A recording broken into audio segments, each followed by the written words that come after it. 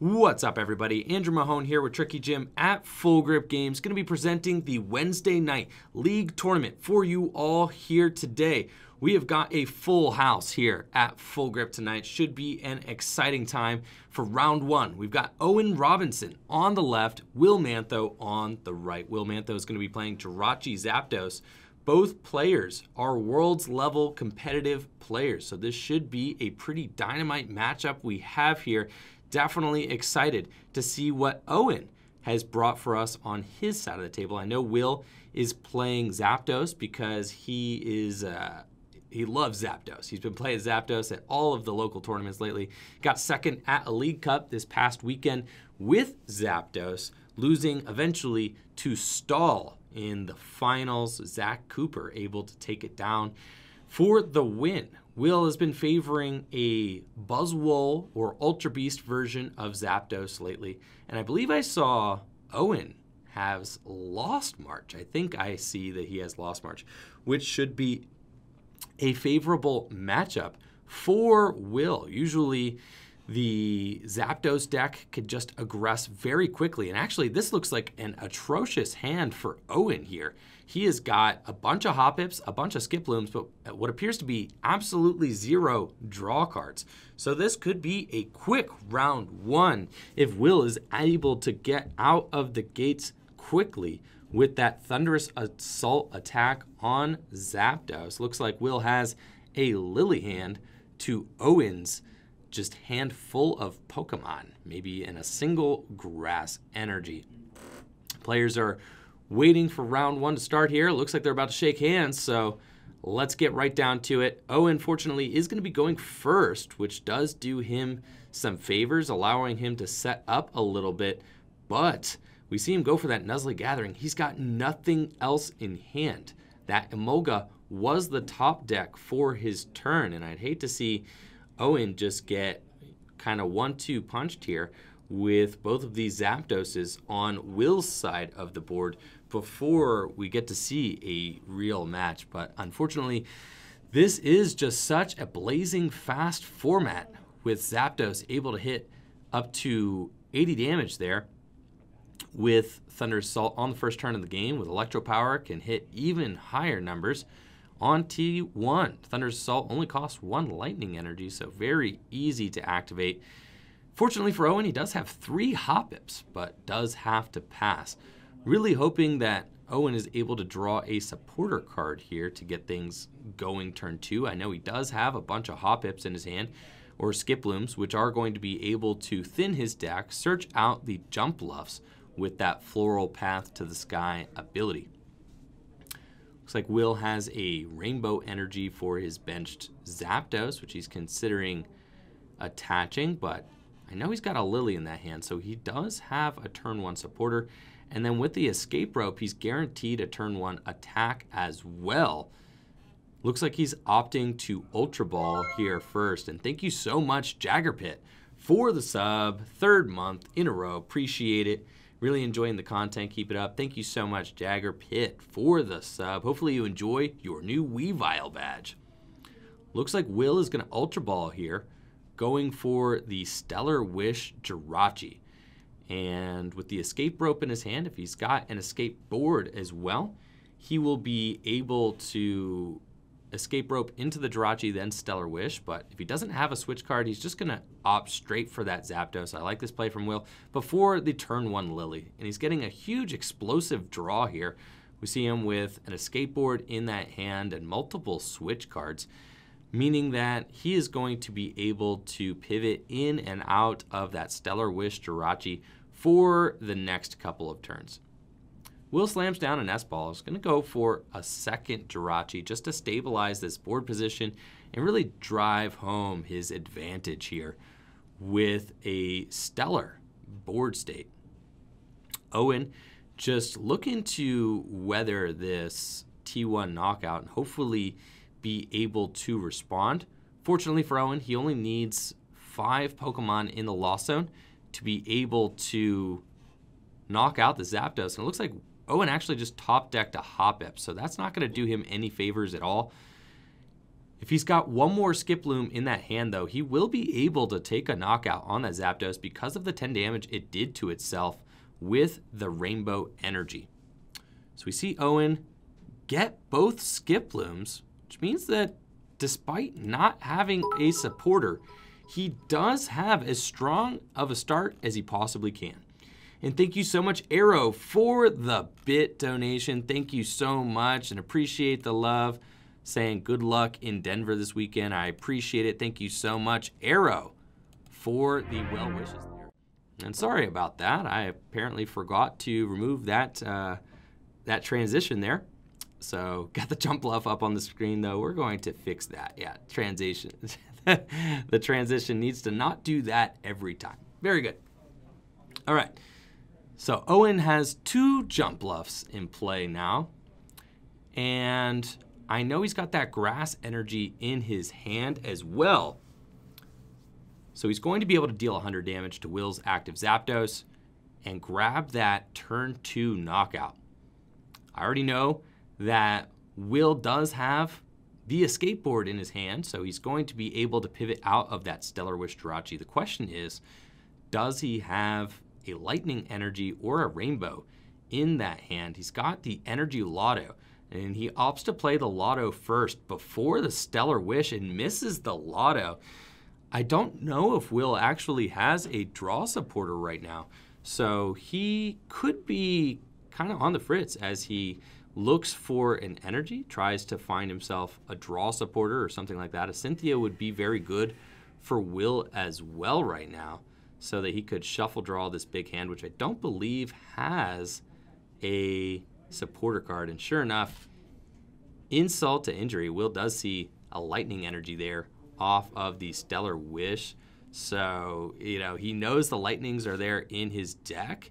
He just is having trouble finding them in his hand. And he has a huge hand. It could just feel so bad to have a hand that big without the cards you need in it. Will applies the escape board to the Jirachi and he could decide to pivot out here. He actually has the rainbow energy, so didn't see that in his hand. He's got the rainbow, so he's guaranteed a knockout on this Jumpluff. Now it's Owen who is going to be energy dry here, searching for an energy. Will retreats confidently into his second Jirachi. He's got everything he needs. I know he's got multiple switch cards in his hand. Finds Shrine, Lillie. Really, he's got plenty of resources to be able to drive it home throughout the course of this game. He's going to need to find some rescue stretchers here, though, to bring these Zapdoses back if they continue to go down. And Will does actually have a Cynthia in his hand as well. So a perfect hand refresher, able to just maximize the resources that he was using and see six new cards here off the Cynthia. So really great draws here for Will as he refreshes his hand with that Cynthia and should put Owen in a pretty compromising situation. Owen was able to take a prize, though, which I've been unable to see so far. So, not exactly sure what Owen has off of the prizes, but he's got between that and a top deck to be able to find himself a uh, substantial draw card here for his upcoming turn. See, Will's got plenty of options here in this new hand. He's got Ultra Ball, Lightning Energy, and Tapu Koko GX. Opts to get rid of the Tapu Koko GX with Ultra Ball, thin his deck a little bit more, and it looks like he's going for another Zapdos. Just wants that backup attacker as reassurance for next turn, as this should just be a back and forth battle here. One hit knockout after one hit knockout coming down the line. That's how this matchup plays out. And since Zapdos was able to take that first knockout, he's going to be in the driver's seat here. Owen not playing any cards down immediately makes me think he might not have anything. He's got Guzma. He has to try and stall this Zapdos and pass. That is brutal. Owen missing the cards he needs to take that knockout. Will is already up one prize. Now he's about to extend that lead to two with his Zapdos army and will thoughtfully targets down Owen's Jumpluff there Going to make it even harder for Owen to respond with a knockout next turn. Lost March just getting run off the table here. And unfortunately for Lost March, that's just what we have been seeing with this deck. I think Lost March could get better uh, with the release of the new Dedenne GX. It's going to be coming out in our next set. It could give this deck some much needed additional draw power. And thank you so much, Adavak, for the 100 bits. You know what time it is. Time to delete Lost March. Yes, very funny.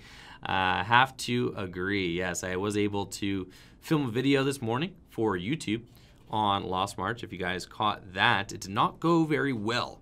But yes, Lost, Lost March, not my favorite deck in standard right now. It just tends to kind of tank out. When it works, it works beautifully, but when it struggles, it does struggle, unfortunately.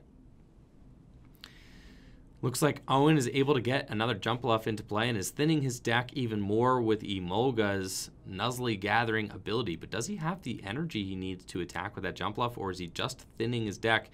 Looks like he just had to thin his deck, and then Will is going to take another Guzma on another Jumpluff here.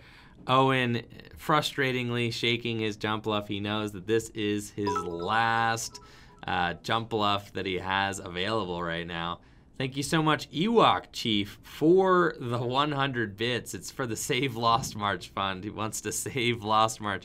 I don't know if 100 bits is going to save Lost March, unfortunately, but maybe Dedenne GX will with its new ability, uh, which is very, very strong. Just giving decks like Lost March some much needed draw power. Will is able to take that Jumpluff out with Thunderous Assault. Owen has to promote unenthusiastically an Emolga, and finally he gets a Pokemon Communication. This is the first real playable search card we've seen from Owen so far, other than I think maybe he had a Nest Ball turn one, but other than that, uh, this has been it. So he's going to go for Let Loose here, but unfortunately, this is too little too late for Owen. Uh, almost no matter what he searches out or what you know Will draws off this let loose, it's not going to be able to keep Will from winning. We see Will patting his Jirachis here. Doesn't really matter. He's got two Jirachis in play, both suited up with a skateboard. So even though Owen is making the correct play by going for that let loose Marshadow, Will is not concerned. He's been thinning his deck just fine and should have a great hand here off of that let loose. Owen will get to see four new cards, though, which is very good. He's going to be looking for a Natu and potentially a DCE as well, which would really help him with taking a knockout at the very least. But, oh my goodness, Owen just sees another atrocious hand off this let loose. He's got two Trumbeaks and a Great Ball and a Pokemon Communication. So technically, Owen can use both Trumbeaks, send them both to the Lost Zone, and then go in with potentially a Pokecom and just get himself another let loose. Kind of what he needs to do. Owen needs a draw supporter. I mean, there's no no getting away with this if he does not find a draw supporter. Definitely needs that. Looks like he's going for a Oranguru, so that's fine. I think that Oranguru is very good. That actually signals to the fact that Owen did not ever have a nest ball, or he definitely would have gone for an Oranguru earlier. He finds the Oranguru and will be able to instruct. This is an entirely playable hand, so I like this here. Just gives him some board stability as well. I'm not sure why Owen opted to instruct before playing the Great Ball. I think uh, playing the Great Ball first and giving yourself an opportunity to instruct for three seems like the optimal play there. Uh, and what's crazy is I think that uh, I think that Owen actually did uh, find the DCE off of his instruct. So if he was able to find a Natu off of that Great Ball, then he would have been good for a Lost March attack. But looks like Owen just really grinding his gears here. And performing all his game actions just three or four turns too late here. Things he needed to be doing a long time ago. And Owen will just put a DC onto the Oranguru and have to pass. That Oranguru can attack eventually with its psychic attack, but Will is going to just use escape rope and force up one of Owen's Emolgas. He'll get to use Stellar Wish again and search another trainer card off the top five cards of his deck, which he's been doing all game. And we're just seeing the difference in consistency between these two decks really come through right now. Uh, one of the reasons that Lost March has been struggling to gain some footing in this meta, even though it is a powerful non GX deck, Zapdos just is very unforgiving with its speed and the precision with which it can take these pointed knockouts. If you've got a lone Hoppip on your bench, Zapdos going to be knocking it out. If you got a lone uh, attacker you're trying to build up, Zapdos can probably target that down too. It's just, uh, it's just very, very hyper aggressive. Owen's going to go in with another Trumbeak there and get at least a ninth Pokemon into the Lost Zone and then place his first draw supporter of the game in Lillie. And sure enough, he lilies into multiple other lilies, which has to be very frustrating. Owen does have a energy, can attack with the Oranguru this turn, but that kind of feels bad. It's not exactly what you want to do. Uh, Owen also is able to Lost Blender away two more Pokemon there. And sure enough, we are seeing that Psychic come out from the Oranguru, and it's not even for a knockout. Pretty sure it does 80 damage plus the 10. That Zapdos going to be at 90 damage right now. And Owen flashing his handful of lilies to the camera. Definitely a uh, frustrating showing here. Will has only got one prize remaining. All he has to do is target down one of those Pokemon on Owen's bench with a switch, Guzma, something of the sorts, and he'll be able to take the game. But looks like maybe he doesn't have it already. Owen's only able to take one prize this game. Very frustrating for Owen. Uh, Will actually does have a switch, so that is not quite game. I think if Will just realizes that he has Tapu Koko GX in his discard pile. He could rescue Stretcher for it and Sky High Claws. Sure enough, Will does see the play. He is going to bring all the energy up to the Tapu Koko and Sky High Claws for game, and that's going to be it. He actually says he wants to Tapu Thunder GX. I think he's thundering, you know, Tapu Thunder GXing, but that uh, that should just be game here. And Will extends his hand. That's going to be it. Will emerging victorious 1 0 at the Full Grip Games Wednesday night league tournament. A commanding victory there by Zapdos Ultra Beast over Lost March at the hands of Owen Robinson.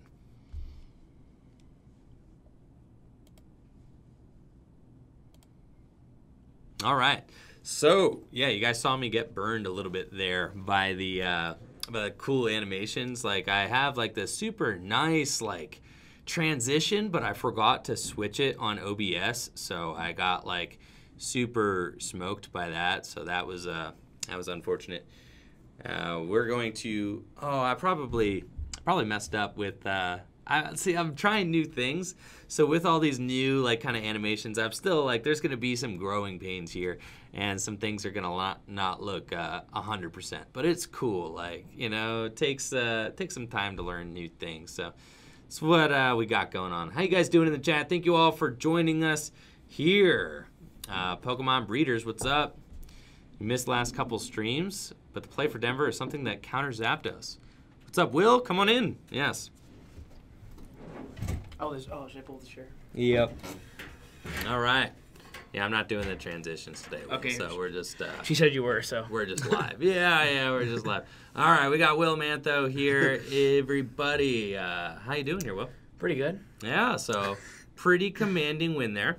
Yeah. Yeah. So how did you feel about that matchup overall? It's 99 1 is in Zapdos' favor. 99 to 1. You say pretty much a does not lose matchup. You can't lose. You can't.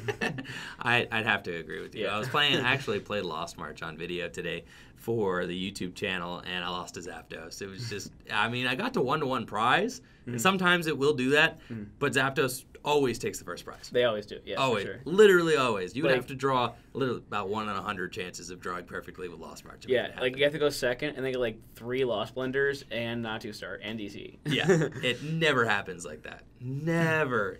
But uh, still, so uh, how do you feel about Zapdos Ultra Beasts in the current meta? You were able to take second at a League Cup this past weekend. What do you think about the deck? Uh, and do you think it's a good call for the Denver Regional Championships? I think it's probably one of the top top few decks in format right now. So Yeah, I'd have to say so. Now you've been you've been playing the uh, Zapdos deck with the Ultra Beast in it. What do you think they bring to the table uh, that Zapdos was kind of missing without them? well, like against like Zoroark without any text, like you just lost. Like there's no chance. For sure. But it, even if you like show them a rainbow energy, like when you're shuffling, or like if you discard one, like they get scared instantly. They're like, oh no, I have to play around Buzzwole and Nihilego now. Right. So like they can't. Oh no, It's- and the Buzzwole just kills it kills anything it wants to basically.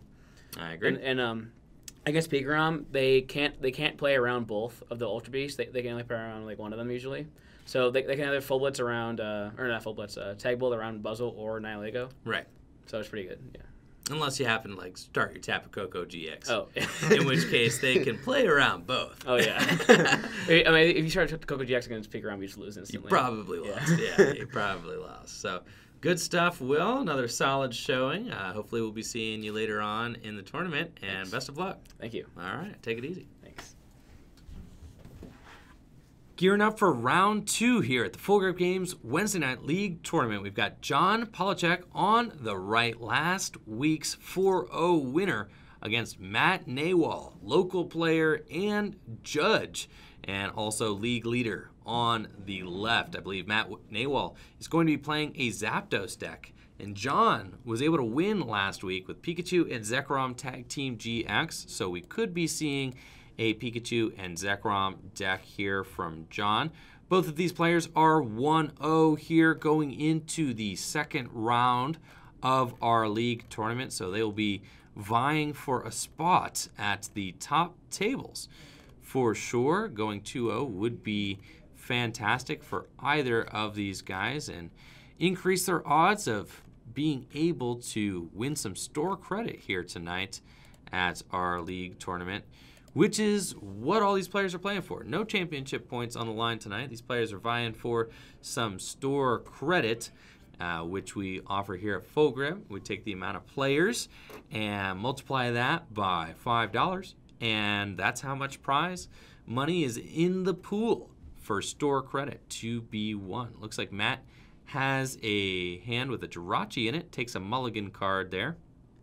He's got a Jirachi and an Ultra Ball and some Lightning Energies. And it looks like, uh, well, looks like maybe they hadn't decided who was going to go first. Supposed to decide that before you see your hands, but it's all good. Happens sometimes. These players are just waiting for the go ahead from the judges to see who is going to be on the draw here in round two.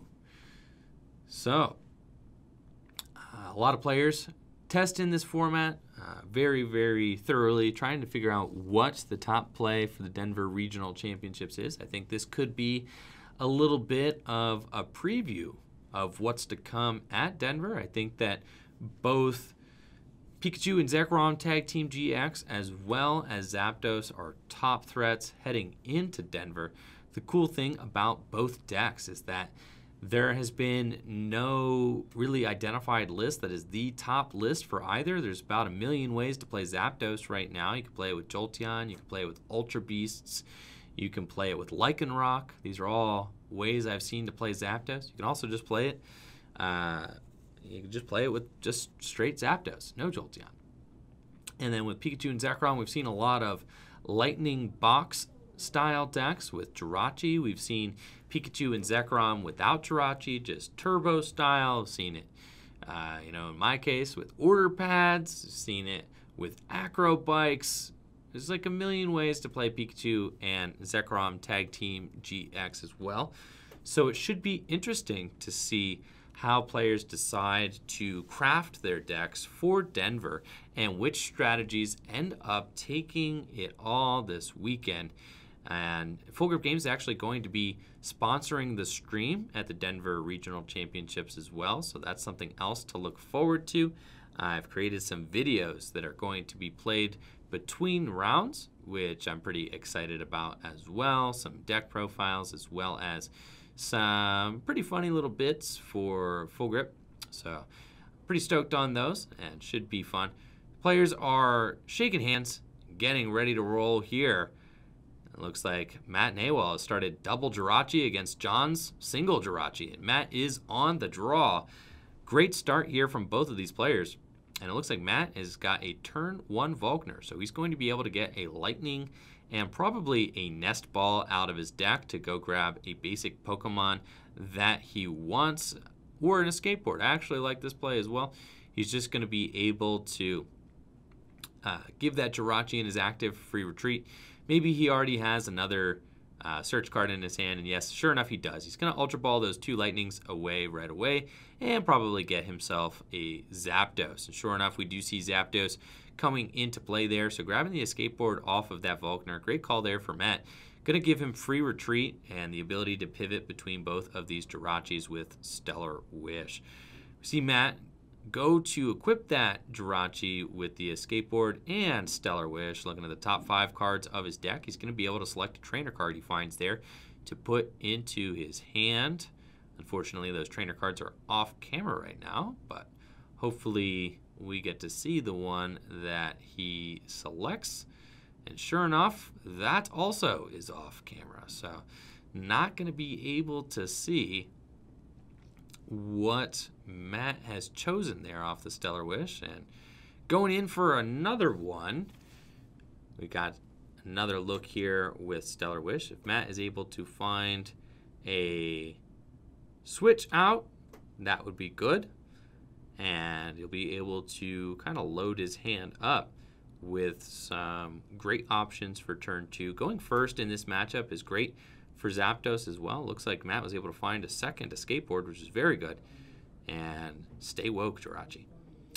John on the draw now. He's got his Stellar Wish Jirachi in the active. He's going to be looking to get probably a Pikachu and Zekrom Tag Team GX on the bench and then start to throw some energy its way. Most of the time, Pikachu and Zekrom Tag Team GX is going to be getting a turn two full blitz, which is huge for Zapdos in this matchup because Zapdos is going to be able to target down a Pikachu and Zekrom Tag Team GX with an energy on it and potentially prevent that um, that turn two full blitz from coming from a clean Pikachu and Zekrom. Looks like John is opting to play down that Ultra Ball, and we'll have to discard two cards from his hand. He's got Choice Band and an Electro Power, getting rid of those.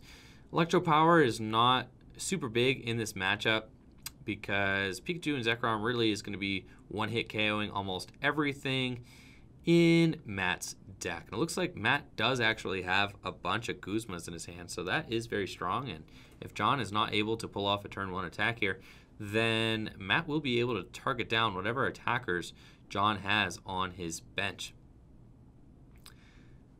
So John does have that Energy Evolution Eevee. He's going to be able to go back into his deck with that Energy Evolution ability. Shuffled up, but yeah, about to undo that shuffle right away. Here we go. Getting Jolteon out from the deck, which he checked to see that it was there. So cool stuff here from John. We got a turn one Jolteon. Jolteon can be very strong in this matchup because that first attack there, Electro Bullet, can knock out a Zapdos with just one Electro Power being played. And we did see John opt to get rid of an electro power, so he may already have another one in his hand.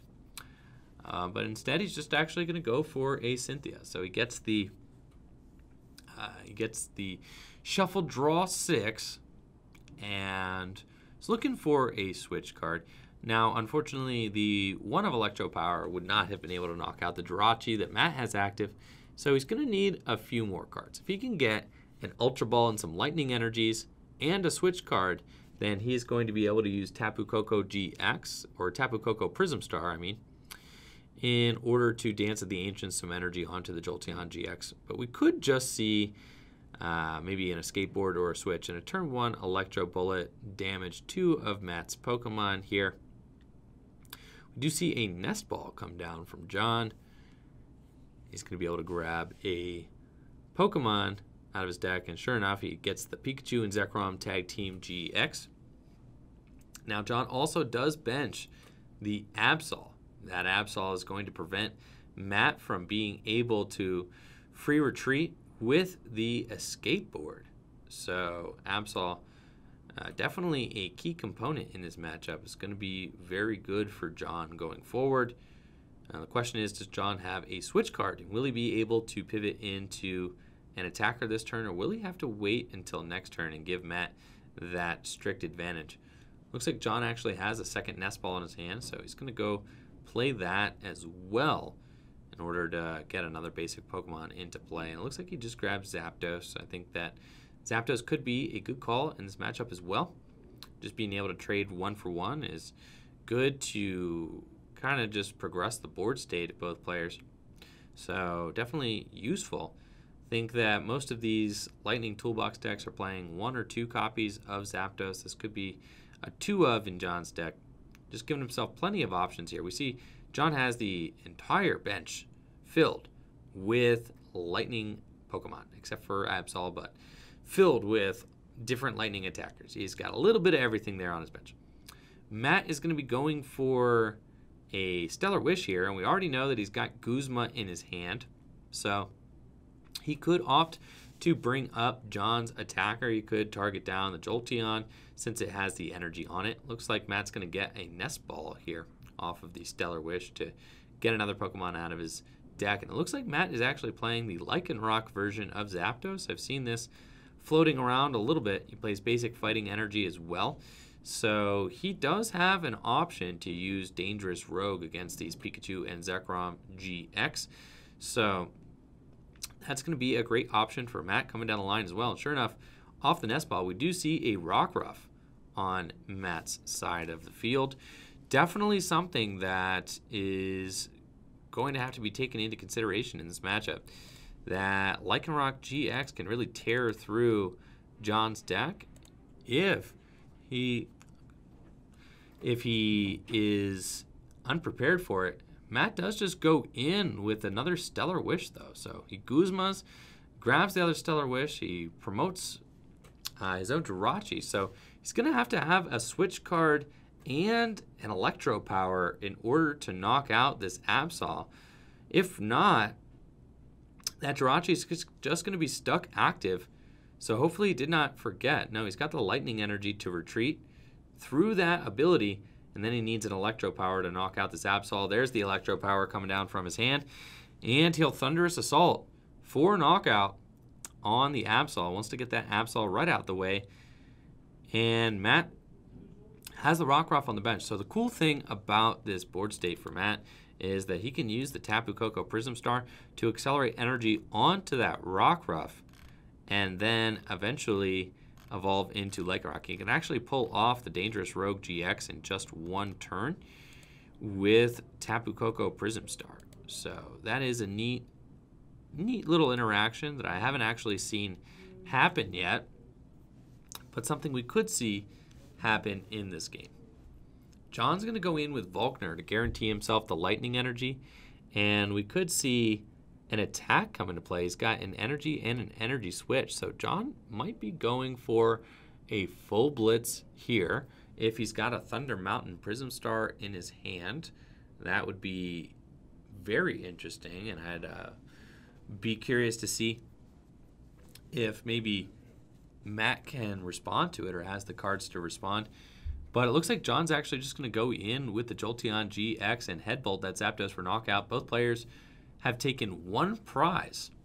Matt's got a hand with what appears to be Guzma and a Nest Ball and Electro Power. Matt does need more cards here to kind of make the dream work. I think I want to see Matt go for the Tapu Koko Prism Star here, and then Cynthia for a big shuffle draw six, and potentially go for a huge dangerous rogue play here. It's kind of what I want to see happen, and sure enough, Matt sees it. He goes for the Tapu Koko Prism Star, and then I'm guessing that we're going to be seeing a draw card here from Matt Nawal. That, or he might be shuffling up just to go for a Stellar Wish first. He goes for the Stellar Wish first, so that's fine. He's going to look at the top five cards of his deck, looking for an Ultra Ball. He also wants to find a Fighting Energy. He's going to need to find a Fighting Energy in order to manually attach it to the Lycanroc GX. I don't believe he's got it in his hand right now, but potentially in the upcoming, you know, in the rest of his turn, he might draw into it with one of the draw supporters that I know that he's got there. So he goes in with that first one. Fortunately, Matt does not have to worry about that Absol anymore, so he should be smooth sailing here, able to pivot in and out of these Jirachis, and he's going to escape rope. So John will be able to promote whatever Pokemon he wants off of the escape rope. I think it's probably correct for him to promote that Jirachi. It's just the safest bet. And Matt is saying, you know what, if I attack this turn, it's probably going to be with a Lycanroc, so it doesn't really matter because I'll be able to Bloodthirsty Eyes up whatever I want. Matt does have a hand with a second escape rope, which doesn't actually do him a lot of favors right now, and Electro Power, which also doesn't help since I think he plans on trying to attack with the uh, with the Lycanroc GX. Now, I'm not sure that Matt has the Lycanroc GX in his hand already. Uh, I think he is missing that piece of the puzzle. So he needs to draw into a specific two cards here off the draw supporter, which is why I think I would have liked to seen Matt go for the Cynthia first if he has that. Uh, but it actually looks like he's just going to Volkner. So that could just get him both pieces. That's crazy. I didn't realize that. He's got Volkner in his hand. So if he's got Ultra Ball in the deck, which it looks like he might not have Ultra Ball in the deck. That could be devastating. Sure enough, did not see an Ultra Ball. So he's just going to grab the Nest Ball. That's a safe play. He can get the Lightning Energy and go for the Zapdos. And actually, now that I'm thinking about it, he had no way to get that uh, Fighting Energy either. So it was never going to be a Lycanroc turn. He's going to have to save that play for later when he does have the Lycanroc uh, at his disposal. I actually didn't see the Lycanroc in his deck either. So Matt is going to be able to take this prize, knocking out John Jirachi, going down to four prizes remaining. And John still has a fully loaded Jolteon ready to go, undamaged as well. So John is kind of sitting pretty, doesn't really mind too much. We know he's got Energy Switch in his hand as well. So that's another option for John. He can pivot to a new attacker once this one takes some heat. I don't expect to see John use uh, Jolteon's GX attack. I think that John would much rather save his GX for a potential tag bolt later in the game. John gets to Lillie for two. And two cards is better than none. So even though that draw is not super aggressive, it could sometimes just get you that extra card that you needed, maybe an energy to attach for turn it's got an energy going down onto the Pikachu and Zekrom tag team GX, and then it's just going to take a knockout on that active Zapdos with Jolteon GX again. Headbolt. Matt has a backup Zapdos, a couple of Electro Powers, and a Lillie.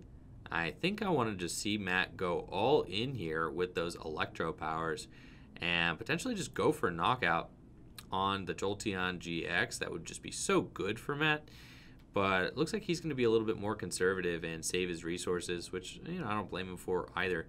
He's going to Stellar Wish and Escape Rope, and John promotes the Pikachu and Zekrom GX, showing he's got no fear of that Rockruff on Matt's bench.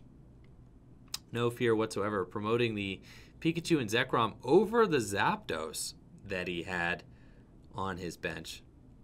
Looks like Matt is going to Stellar Wish again.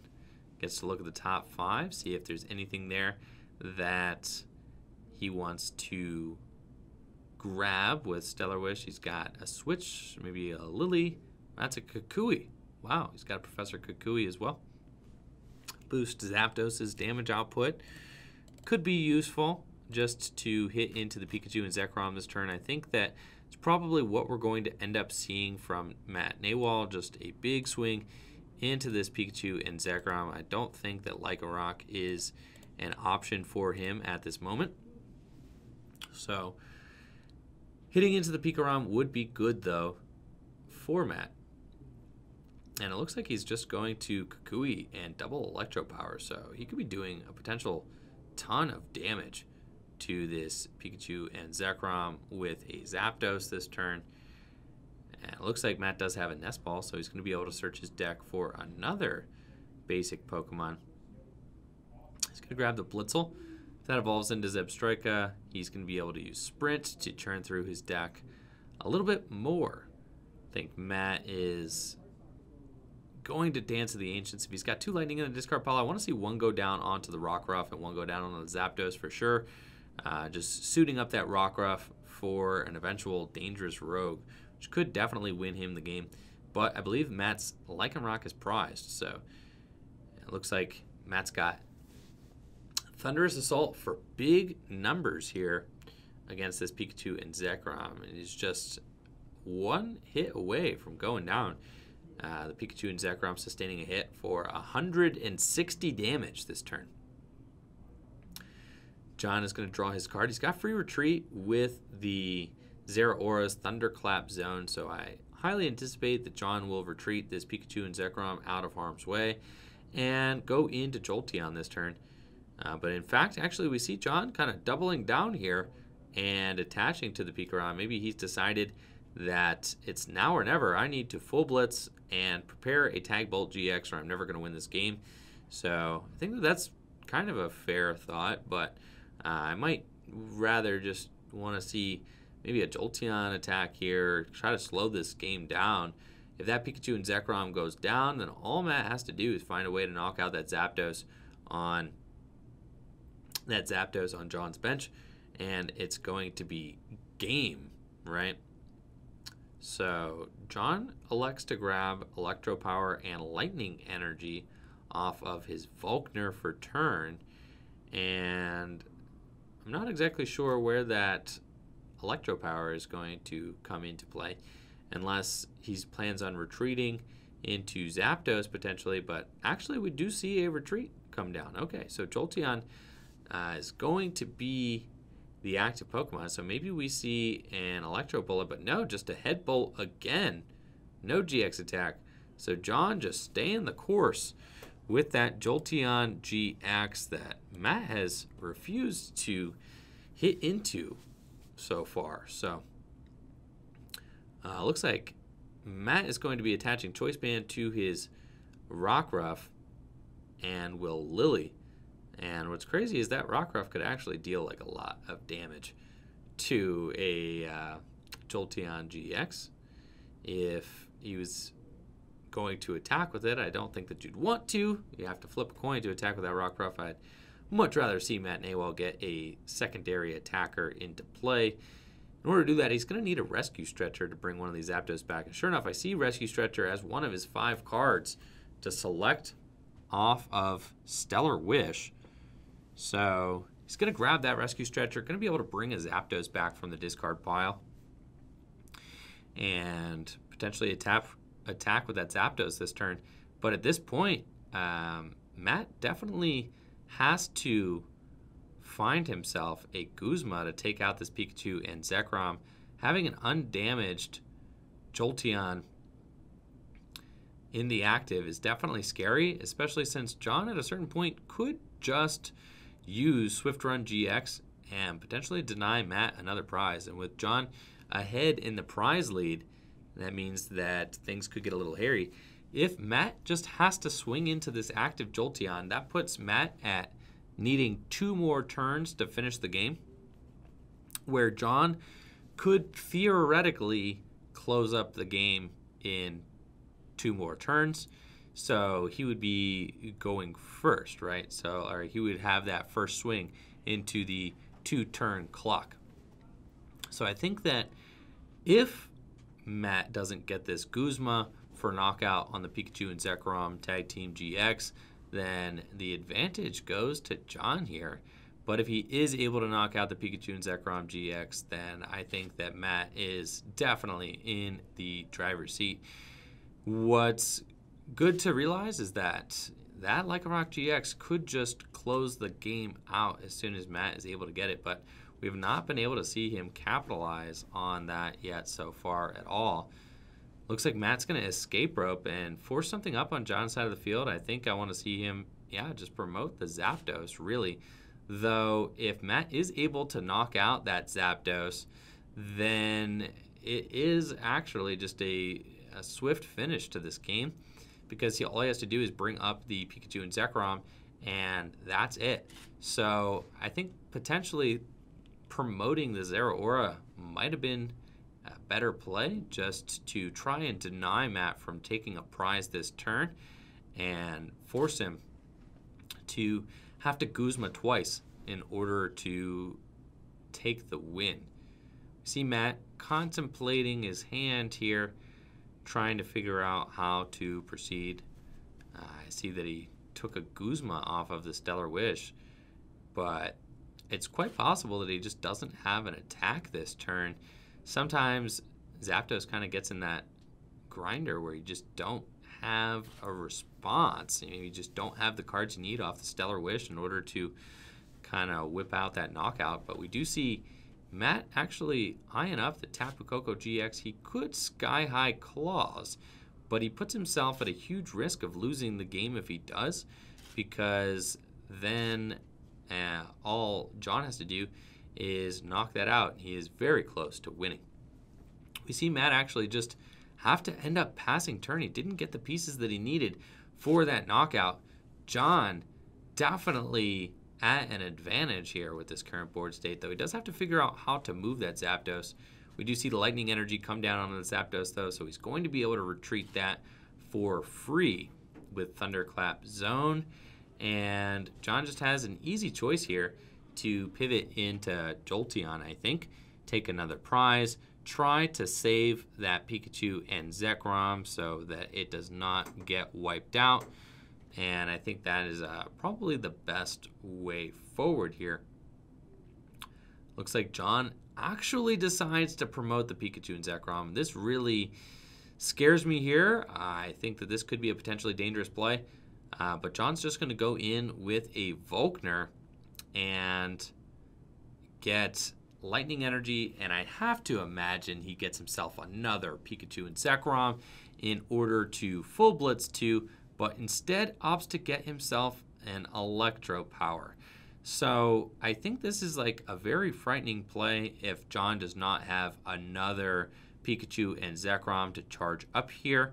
I think that it's uh, it's yeah, we'll have to see. He's got a handful of ele- I know he's got energy switches and electro powers in his hand.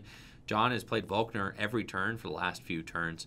So if he shuffle draws, then he loses all these resources. I think he's just kind of stacking his hand for an eventual game winning play, but John's just going to go in with full blitz on the Pikachu and Zekrom, and I really hope that he does not accelerate those to the active Pikachu and Zekrom. If he does, that is going to be a potentially very dangerous play because it could leave him vulnerable to losing all his energy.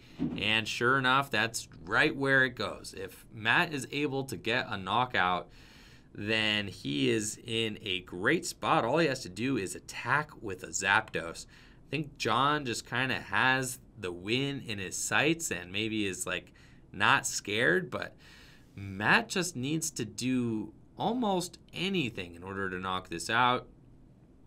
He could use Sky High Claws. I mean, he could bring in the Tapu Koko GX in his hand to do it. There are like a bunch of different outs that he has to knock out this Pikachu and Zekrom. So this is uh, a little bit frightening for me. However, if Matt does put down a GX Pokemon, John does have the Electro powers in hand to take a knockout on a GX Pokemon. So I know that John has the firepower in his hand to knock out a Tapu Koko GX or a Jolteon.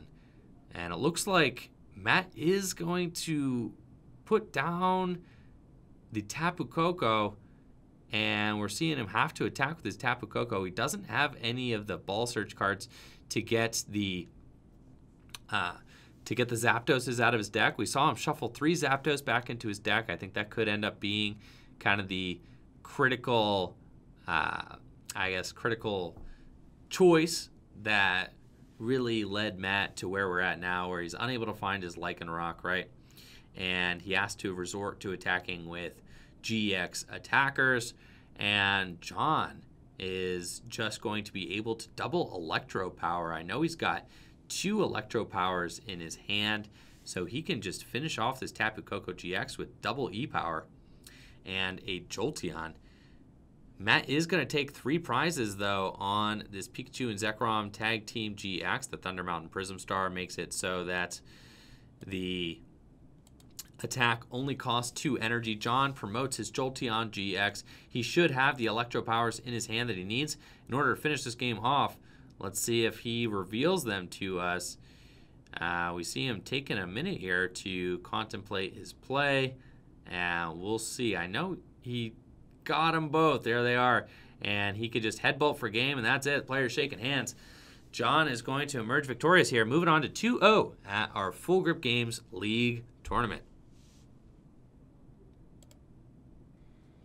Got John here. Talk about your win, and congrats last week as well. Yeah, it's uh, on a pretty good roll. Hope, it's, hope it lasts for a while. Yeah, for sure, for sure. So you're 2 0 here again. Right. Excellent stuff. How do you feel about that last game? What was going Uh, through your mind? I was nervous being on stream, but uh, I didn't wanna embarrass myself first time. because- No, you did good. But, you uh, won. Yeah, he he had a couple uh, bad breaks. Yeah. That's happened to me, so I'm not going to complain too much. oh, for sure, for sure. Good stuff, though. So, uh, you were able to kind of take consistent knockouts with Jolteon, and he really was kind of the king of that matchup, it seemed like. yeah, that's uh, with that deck. That's worked that way a couple of times actually. Yeah. And sometimes I feel like uh, players don't want to hit into the Jolteon because they feel like it's a waste of time, right? But then that can just leave Jolteon there to kind of just take the matchup by storm, really, he- it's okay for what he does. I mean, it's uh, for sure. He's very efficient against Zapdos. right. And I just want to take a second to thank Matrix for the Twitch Prime sub. Appreciate it. So, uh, this is uh, your second tournament. Now you're 2 0 again. Uh, is it a four round tournament tonight? yes, it is. All right, so another four round tournament tonight. Is there any deck that you're nervous about playing with Pikachu and Zekrom? No, unless it's the mirror, Just the mirror is what gets you. What's scary about the mirror to you then? because I know what it can do. ah, yes, yes, indeed, indeed. Uh, were you worried all about the Lycanroc GX and Matt's deck? Yeah, I saw him sitting on that, and I was going to go after it, but Uh-huh. I, I think I thought I had enough cushion to take the hit. Yeah, for sure. Um, it was scary because like he could use that Koko Prism Star, put an energy onto it, the potentially dangerous rogue, but I think it must have been prized because we didn't see it come It out. was.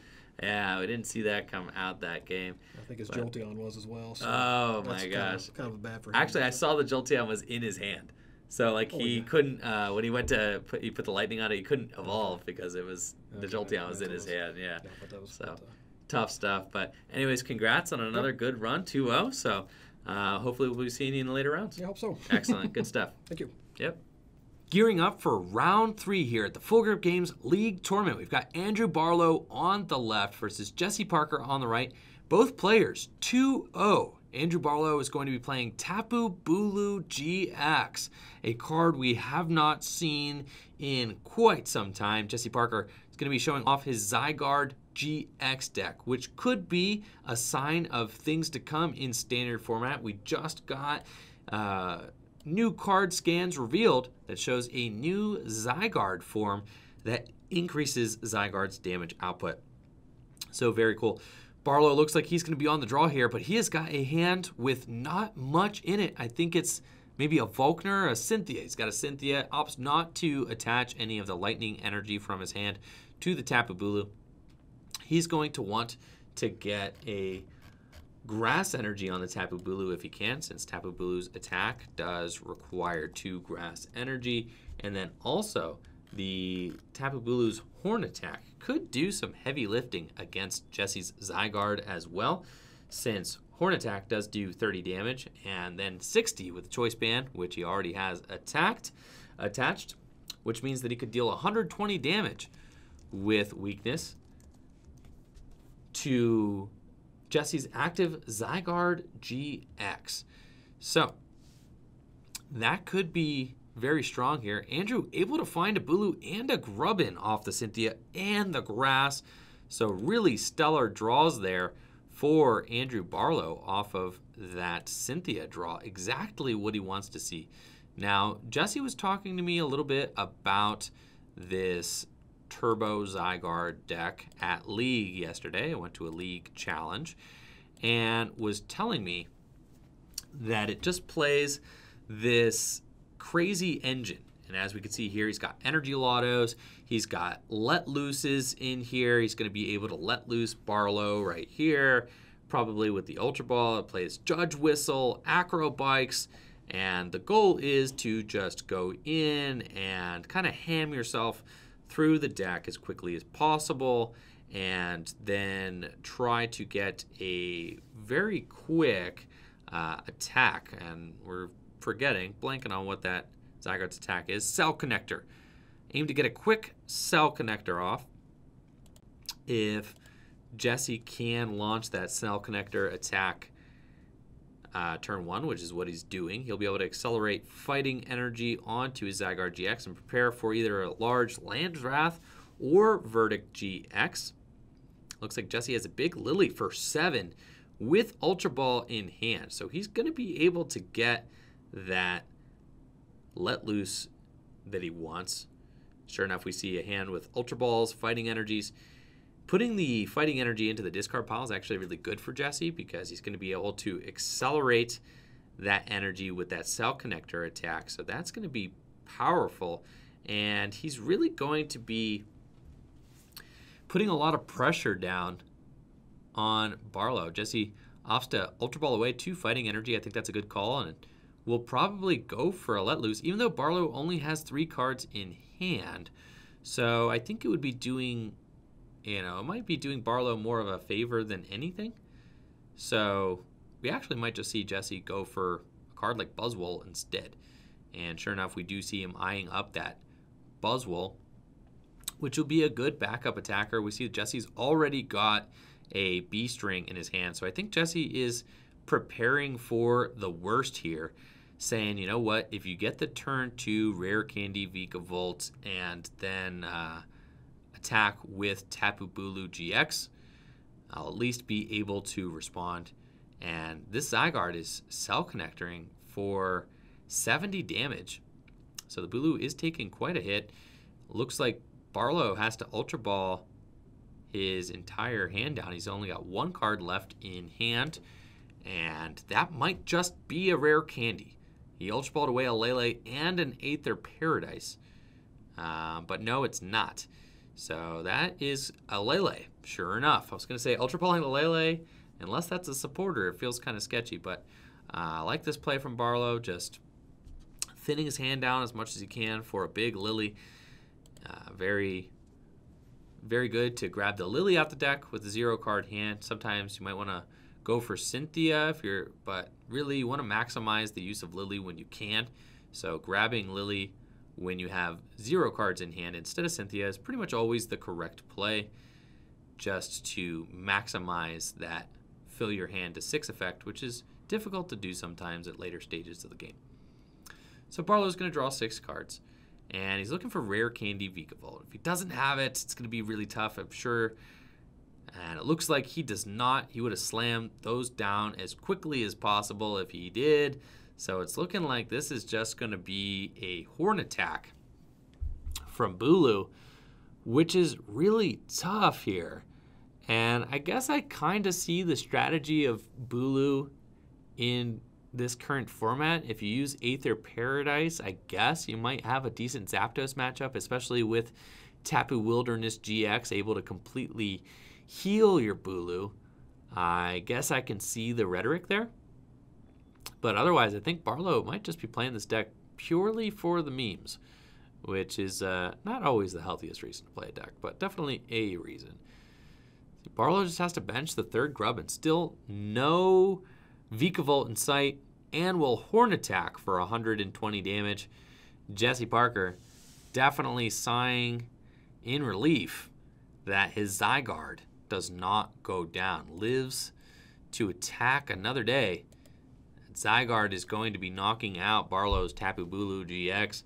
Natalie was saying that she thought that this matchup should just be atrocious, but it's looking like Jesse was correct here, saying that it's not that bad at all.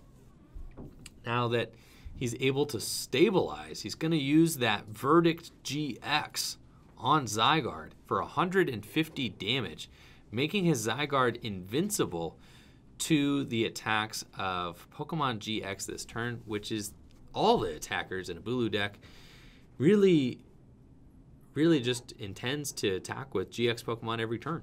So Barlow will probably be without an attack this turn. Now, that is uh, that is being forced upon him by the Verdict GX, but I think that Barlow would have probably failed to launch an attack this turn, even without a Verdict GX. We do see a Lillie in his hand, though, so he's just going to opt to Guzma this turn, search out a Grass, probably start to manually power up his Bulu just with one more energy attachment with this net ball here that we're seeing. And that is what we got going on. So Bulu is going to be able to horn attack for 30 damage into this baby Buzzwole, but that does not feel optimal from Barlow's side at all. Hugely compromising situation.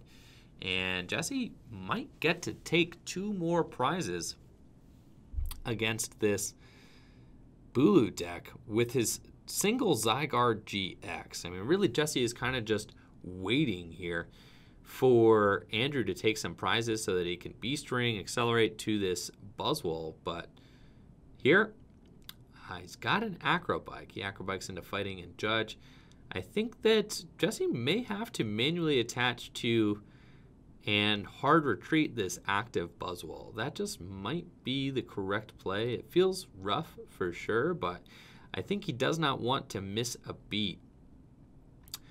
We could actually see Jesse just soften up this active Bulu as well. That could be another valid strategy. Soften it up for the eventual Zygarde GX later. But since Buzzwole is just a one energy attacker, it's not actually the end of the world if it does get uh, uh, if it does have to hard retreat. But it looks like Jesse's going to commit the Beast Energy to the bench Buzzwole GX. So he's got other plans, and he's got a very big hand, so plenty of cards to work with here. Looks like Jesse's going to Ultra Ball, and we'll have to see what he discards. He's going to Ultra Ball, discarding.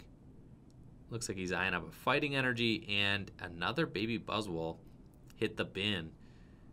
And we'll see what he opts to get here. If he's got a Lele, he might go for a Guzma. But actually, he's eyeing up that Marshadow, so he is ready to let loose. And he grabs the Marshadow, and he's going to be limiting himself to some smaller to a smaller hand size, but it actually looks like he's just going to Guzma let loose. And I, I like this play. I think Guzma followed by let loose, you know, you get to target something on your opponent's bench and also draw some cards all on the same turn. Can be very powerful. So that Zygarde it's going to be going in with Land's Wrath. Jesse is looking for a choice band in order to take this knockout on the Tapu Lele GX right now. He's dealing 150 damage, 130 with Land's Wrath, plus the 20 from the Diancie and the Princess Cheers ability sitting there on the bench.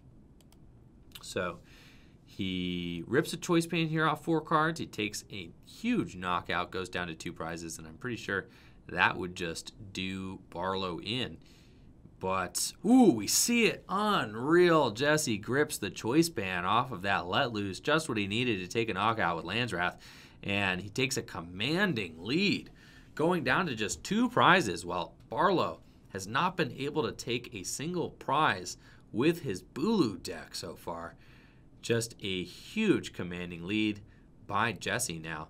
And we'll see if Barlow is able to finally get a Vikavolt into play this turn. He's Cynthia's.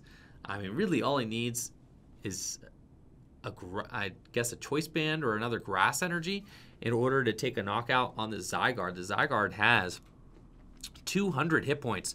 So Bulu is not actually taking a knockout on the Zygarde quite yet. That Horn attack will only do 60 to Zygarde's remaining 80 hit points. Barlow does need to draw something off this six cards, but surely one of these cards in his hand will get him the knockout. And sure enough, he's got it. He could just attach Choice Band to the active and Horn Attack. So you would think that Barlow does not even play Vikavolt with not a Vikavolt in sight. Now, Jesse does also have the Beast Ring, just totally insane. And Barlow is going to scoop it up because he's got the energy for game. And Jesse takes the win. An unlikely victor in the type matchup. I mean, Bulu, the grass type, could not get there against the grass weak Zygarde GX. So Jesse Parker going to move on to 3 0 here at Full Grip Games with Zygarde. Hula, Mike. What is up? How's everybody Yo, doing? Heard your 3 0 3 0.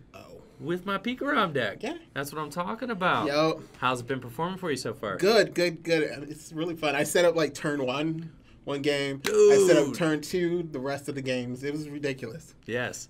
It's Pikarom's powerful. really fast. And I was like, why do you play random Rayquaza? I'm like, this last game, Yeah. I used uh, Rayquaza to end the game. He didn't know Oh. how I was going to beat him. So I had I had three energies on my Pika, uh, Pikachu Zekrom. Right. and comes into my turn, and I'm like, I got game. And he's like, what? So I play the Thunder Mountain, Yeah. right? Uh huh. I attach an energy from my hand. Yeah. Then I used the Rayquaza and an Yeah. energy switch, and I was like, Got game. it. Good game. Busted. Good and game. you'd already used your Koko Prism Star. Yeah, That's what I'm saying. That's what he's there for. It's like a It was- second Koko Prism Star. it was ridiculous because I end up I ended up taking the three prizes for the game because he had a Lycanroc. Yeah. And so I hit him for 200 for the Lycanroc, and then I knocked out his uh, uh, Rockruff on the bench. That's 170. insane. You like, just beat a, boom. a Lycanroc deck with a lightning deck. well, that's pretty crazy. Apparently, you're going to be playing against Jesse Parker in the final round Oh gosh. on stream. He's playing Nice. Zygarde. Nice. Ah, and Yab. And Yab, I know him. apparently, there's a apparently there's a Miltank Zapdos out there Yes, I was just. doing things. I'm like, wait, wait. Did you just you?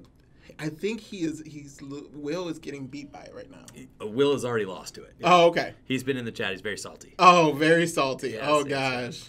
So best of luck to you. For those of you guys who may not know, got your own channel too. Woo, yeah, you guys should check me out. I'm at Prof Mike. So twitch.tv forward slash Prof Mike. Twitch.tv slash Prof Mike. We'll drop that in here. Oh, so Twitch.tv much. slash Prof Mike. Yes. Uh, and then, of course, anybody watches Dariums already knows Mikey the legend, you know, from uh, Wacky Wednesday. Did you get the Wacky Wednesday video up? I did not. I I, I already. Um, it's, it's it's getting edited now. Might be Wacky Thursday. It's gonna be Wacky Thursday. It's Super Wacky Wednesday. Super Wacky Wednesday. Excellent stuff. Well, I'll let you go. Good luck All in your final round, man. Thank you. Yeah? You guys take it easy. Thank you so much for having me. Of course. Getting ready for round four here at the Full Grip Games League Tournament. We've got Mike Collins on the left. That's right, Hulan Mike from Darium's fame. Also a world renowned judge. He's judged at Worlds before. He's been uh, the head judge for the junior age division, I believe. So, a world renowned judge in Mike Collins. He also travels to many of the international championships every year to judge various age groups there.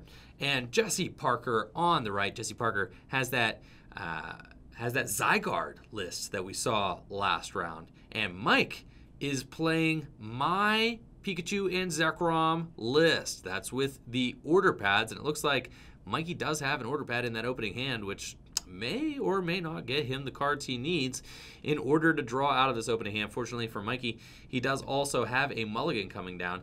This is a very tough matchup for Pikachu and Zekrom Tag Team GX, but both these players are 3 0, so they are competing for the top spot here at our Wednesday night league tournament. We have uh, about 18 players here tonight, so a full house, big, big turnout on a Wednesday night for our tournament.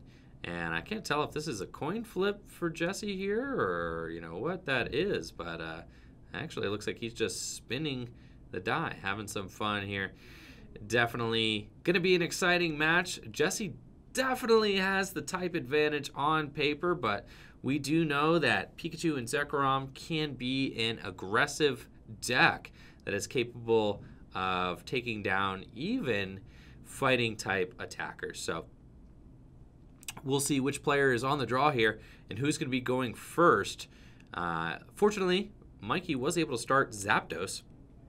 So if Jesse is able to get a quick attack launched, he's going to have to hit into the fighting resistant Zapdos, which could could act as a perfect barrier here for Mikey as he sets up more powerful Pikachu and Zekrom GXs. Uh, all things considered, though, this should be a tough matchup, but I wanted to show off this match on stream since this is just showcasing the strength of Zygarde GX in standard format. And I think that that is something exciting, a little bit of breath of fresh air in the standard format. We don't get to see different types of rogue decks do well all too often. The format has really narrowed itself down to a handful of competitive decks, and it's nice to see something new. So, even if that deck does have an extremely favorable matchup against uh, a meta mainstay, then that's okay. I want to showcase that and showcase something new happening in Standard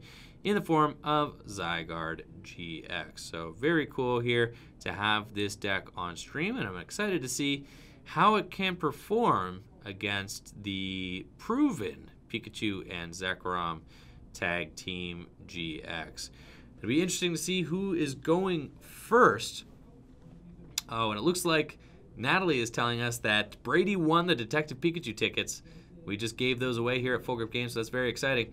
And it looks like Mikey has a Zapdos and a Pikachu Zekrom. Jesse is going to be going first, so Mikey does have a chance to attack on turn one. We heard him back here during his interview saying that he was able to get a turn one full blitz during one of his games. The other games, he consistently got a turn two full blitz, and it looked like Mikey was just blown away by the pure power of the Pikachu and Zekrom deck. He was very impressed. Uh, Mikey doesn't get to play all the time since he is primarily a judge. He judges most times when he goes to tournaments. But, you know, a seasoned veteran himself, he is a world's competitor as well and qualified for the world championships back in the day. I'm not exactly sure what year Mikey did qualify, but he is a world's tier player uh, as well. And Jesse is going for his first world's invite this year. I actually played Jesse in the final round of the league challenge that I went to yesterday. And uh, was able to beat Jesse, but Jesse won the whole challenge. We were both 3 1, and Jesse ended up winning on opponent's opponent's resistance. So that was uh, that was pretty funny. But anyways, Jesse advanced to about 300 and maybe 20 points so far in uh, his route, or 420. I think he's at like 420 points en route to his World's Invitation. I am at 399 championship points. So still out there hunting for some championship points. I've started going to locals finally and admitting that I am going to have to go to some locals if I want to get this World's Invite this year. So, Jesse Lillie's for a huge hand here, turn one. He's got Ultra Ball. He's going to be able to maybe get a turn one let loose if that's what he wants. I know that that's a strategy that he aims to do in a lot of games, is just power up the Zygarde, go for a turn one let loose, and hope your opponent does not draw out of it that is something we could see work here. I think that Zapdos is probably the best starter that Mikey could have hoped for in this matchup. Now, granted, the list only plays one copy of Zapdos, so unfortunately that means that Mikey is not going to be able to retreat into another Zapdos in order to launch an attack this next turn, but it at least is going to buy Mikey a couple of turns. And that's all he really wants. He just needs a couple of turns to manually attach to his Pikachu and Zekrom Tag Team GX, and then hopefully launch a full blitz or a tag bolt in order to knock out the Zekrom GX. I think once Mikey is able to clear that first Zygarde GX, it's going to get a little bit easier, but maybe not because then we also know that Jesse does play Sledgehammer, so it could get kind of complicated, and Mikey could be in a situation where maybe it is not optimal to uh, to actually knock out the Zygarde. Maybe he wants to go for a uh, maybe he wants to go for a full blitz, not for knockout. And sure enough, Mikey draws into almost the exact same hand, which is kind of hilarious. He's got the Viridian Forest, and he's also got Order Pad. So he might decide to cycle an energy first, but he knows that this game is going to come down to this Order Pad. If he flips a heads, he's in there. And tails, he's not. So that is the way of the Order Pad. He has got a really terrible looking hand here without a heads on that order pad. If he flips a heads on the order pad, he's off to the races. He can go get Ultra Ball, Ultra Ball for Lele, and get himself a Lillie to Lillie for seven cards or eight cards. Tails on that order pad feels really bad. It was going to come down to that flip, and without that being heads, Mikey just has to manually attach to his Pikachu and Zekrom GX and pass. That is a sad, sad day, unfortunately, for Pikarom. Now, Jesse has a Guzma in his hand. He's going to be able to Guzma up the Pikachu and Zekrom on Mikey's bench and potentially target it down for a big cell connector. He's dealing 100 damage with cell connector right now, and that would just be absolutely devastating. I know he's got an energy in his hand, so he's going to be able to attach that to retreat the Marshadow and get that cell connector going. So that could be potentially devastating. If Mikey does not draw into anything this next turn, it is going to be just game over. Jesse really just, uh, you know, putting the pedal to the metal here and just drawing super aggressively. We were hearing him talk about this deck. The deck plays Acrobike, Judge Whistle, and Marshadow. So just tons of options to draw through the deck. We see him just churning through his deck right here. Acrobike into Acrobike. He doesn't even care if he's discarding supporter cards in route to a gigantic turn two attack here. And he's sure enough discarded a bunch of fighting energy and gonna get that cell connector for 200 damage. While Mikey is just sitting here trying to not lose. Does Cell Connector not do 200? I see 100 there. Yeah, Mikey, you weak to you weak to fighting, bro. That's 200 damage. That should be 200 on the Pikachu Zekrom. Yeah, yeah, yeah. You go ahead and get that other, yep, other 100 damage out there. Yep, that's that's more like it. And we're gonna need one more die. Yep, 200. Yikes. So did Mikey draw anything? No, he did not. He's gonna have to drag up something on. Uh, he's gonna Brooklet Hill. Just look through the deck. I mean that it's so sad using Brooklet Hill, and you know that you can't actually get any targets. But he's just gonna look through the deck real quick. And then what's funny is we're gonna get to see what his top deck would have been. It would have been Rayquaza, so not a good top deck. So it's it's all good. He's just uh, just buying himself a little bit of time, getting to think about all the cards he wishes he could have drawn, and you know he's got a Guzma in his hand, so he's gonna have to Guzma up something on Jesse's side of the field and just hope to stick it. But the odds of being able to do that when uh, really Jesse just has such a huge command over the cards in his deck and can just draw into them very easily, it's going to be pretty tough. I think he's got to just bring up the Diancie though and hope that it sticks. This Pikachu and Zekrom list is not playing any heal cards either. That or he might just bring up the Marshadow and actually just take a knockout. It's also an idea. Uh, definitely really, really tough. And I think uh, at this point, Mikey does not have uh, any cards in his hand. So he kind of has to draw cards. So I agree with this route here. You have to knock out the Marshadow to just take a prize and actually advance your board state towards winning. He's got an energy switch off of the prizes. So that is really tough. Looks like Jesse just confidently is promoting that Buzzwole there, just projecting that he's already got the Guzma in hand to bring up the Pikachu and Zekrom Tag Team GX on Mikey's bench. And this is going to be absolutely devastating, targeting down that Pikachu Zekrom. So sad. Mikey's whole game decided by that one order pad, flipping tails. Absolute devastation here.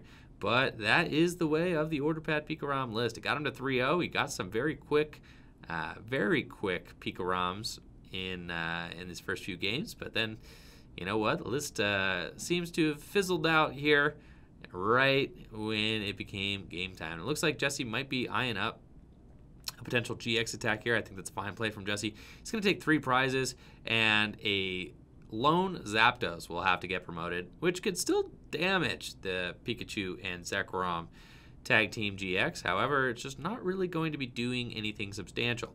And I think Mikey just top decked another Pikarom. So he's just got a handful of golden Pikaroms and absolutely nothing else. He's got an energy switch. He could Thunderous Assault for 10. I think it's just, uh, at this point, ain't nothing else really gonna help. I mean, he's just kind of has to poke for 10. What's the point? It all feels so bad. I think you almost have to energy switch off, but I think keeping a card in hand is fair if he top decks a. Um, oh my gosh, Jesse just has the Guzma. He's going to go and Lele for Guzma, and then he's got an energy in hand to retreat with the DCE, and that's game. Jesse's going to take it. A swift execution of the Pikarom deck. That is tough there. And Mikey unable to do much. Exactly what we expected, to be honest. But Zygarde really just showing how strong it can be when it hits the correct matchups. And we see Mike's prizes there. He prized his Tapu Koko Prism Star and his Thunder Mountain Prism Star. So there really wasn't going to be all that much that he was going to be able to do anyway. The Richard Dogma, thank you so much for the sub. Appreciate it. Subs, let's all show the Richard Dogma some love here with some emotes. Let's give him the Misty Wow. Thank you so much for the sub. Hype. All right, let's shower him with some Misty, some Misty Wow. Thank you guys so much. And uh, let's get Jesse Parker back here for an interview because uh, he just went 4 0 with Zygarde at our league tournament. So pretty busted and excited to see what he thinks of his Zygarde deck. Jesse Parker, 4-0 with right. Zygarde. How you doing, Jesse? I'm doing, you know, it's great. You know, you just let loose and, and you win games, you know? That is exactly what we saw there. You were telling us before your deck aims to just let loose and get a very quick Zygarde. It's exactly what you executed there. So. Yeah, it's kind of taking it's kind of taking full advantage of just like the problems with standard right now. Um, but you know, it's it's it's it's fine. I mean, uh, it, yeah, that's the strategy either way. It's like Right. you just you let loose and you attach an energy and yeah, you just start swinging. So, Exactly, and that's exactly what we saw there. The Zygarde able to do huge numbers to Pikachu and Zekrom. Mikey flipped tails on his opening order pad. Really brutal there. Yeah, that was rough. I felt Yeah. bad. Ah, well, you know, Uh, it's a greedy list. It, it kind of is a little bit, but I just feel like that the tails are just so you just much know when it flips heads. heads. it's gonna pop. Oh off, yeah, it's, though, it's such know. a double-edged sword. Yeah, it really is. So, anyways, yeah. you do what you can. I mean, let loose turn one. That's as strong as it gets in standard Yeah, format right now. let so. loose turn one, and then just uh, all those um, search cards like uh, Judge Whistle and Acrobike to find the Guzmas. And then from there, all you really actually, I probably should have just left that Viridian in play. Honestly, uh, Then that you game. just found the yeah, because then I just keep uh, finding energy attached attach it to Marshadow and um, you know Guzma retreat. Um, we saw you had Guzma three turns in a row. Yeah. Yeah, Um, Like I said, the problems of standard format right now: Marshadow and Guzma spamming. Right. So yeah. you know, Absolutely insane. Right. Uh, but yeah, it's just crazy. That's just that. That's how the games with that deck go most of the time. That's how you win like the majority of your games with that deck. Is just you just yeah.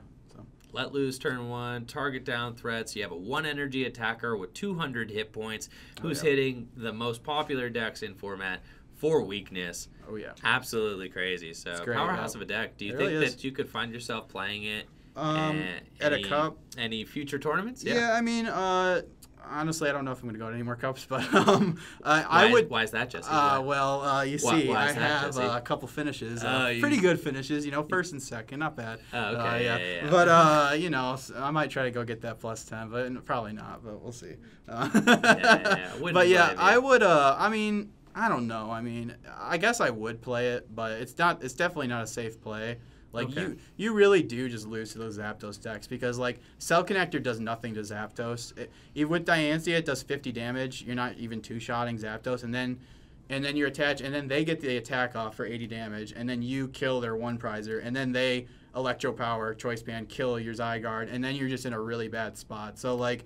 It really does have a terrible matchup against Zapdos. And your but, uh, GX attack actually does nothing to it- Zapdos. no, it's so bad. It's so bad. Like literally, the GX move is just so they can't Koko GX you, which is actually Right. relevant if you're ahead because that's their only comeback mechanic in that matchup. But uh, Exactly. um, yeah, I mean, I guess if you if you really if you think your region is or your area is going to be like playing a lot of Zoroark and a lot of Pikarom, it's actually a really good play. So uh, I'm probably gonna post the list on my Twitter later. So if Plug it. What is it? y'all if y'all want to follow my Twitter, uh, J Parker TCG, I post all my lists on there. Uh, it's not really my list, but I'll share it. It's a it's a list that did well in Japan recently. Uh, I got top four at a really large cup, like a hundred person cup, I think it was. So, Wow. Yeah, it, uh, there was two Zygardes that did well at that cup. So Super uh, cool. Yeah, it's really cool. Yeah, so I'll have to um, throw that on there. so Well, I can show you definitely give Jesse a follow. He stay with the spice. Always looking up cool and interesting decks to play. He's got it all. So make sure to check out J Parker TCG on uh, Twitter. And while you're there, give me a follow too. Yeah. At Enjoy Friend, E N J O I Friend. Uh, thank you, Jesse. No problem. And solid performance, man. Oh, yeah, and thank uh, you. we're gonna be right back, and then we're gonna raid Riley. All right, and that is it. Jesse Parker taking it all, winning the Wednesday night league tournament with Zygarde GX. So very exciting finale there, able to take down Pikachu and Zekrom at the hand of Hulan Mike Collins.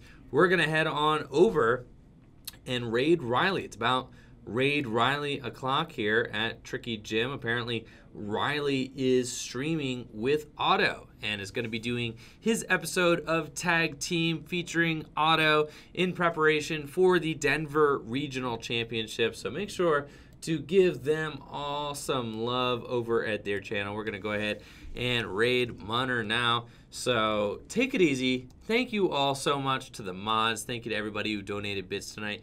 Thank you to everybody who subbed to the channel as well. Appreciate the love and support.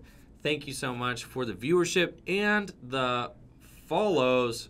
Appreciate it. You guys take it easy. Have a good one. And hopefully, uh, I get to see many of you at the Denver Regional Championships. I'm also going to be streaming tomorrow morning, 10 a.m. Eastern Standard Time, as well as Friday morning, I think. I have to check and see what time my flight is, but I'm pretty sure streaming streaming Friday morning as well. So I'll be back to back streams there, and then uh, like I said, Full Grip Games is also going to be vending the Denver Regional Championship. So make sure to check them out. If you are at the Denver Regional Championships or FullGripGames.com, we've got Detective Pikachu pre-orders up now, singles, boxes, and codes. Make sure to check that out too. But I'm done. That's it. Y'all have a great day. I gotta eat. I haven't eaten all day. Take it easy. Peace. Raid Riley. Go. Let's raid. Raid time. Please. Everybody, let's go to Riley's stream. Have a good time. Got 37, 36. Let's go. Boom.